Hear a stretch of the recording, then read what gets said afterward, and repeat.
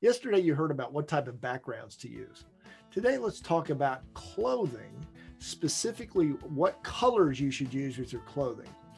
What I'm wearing today is obviously a dark jacket with a light green shirt. There's a specific reason I wear this jacket, and it's this.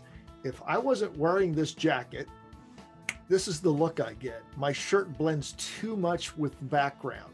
The, the light green is uh, too close in color to the light gray. So I wanted something to offset the, the these two colors, and that's where the dark jacket comes in. So that's one option. I can use a darker color to offset the two lighter colors. Or I can do something like this.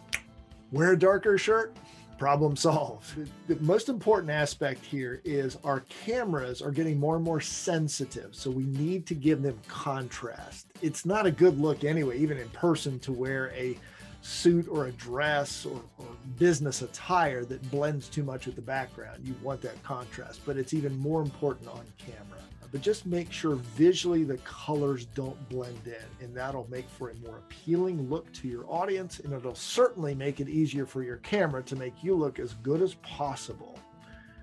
I look forward to talking with you in tip number 24.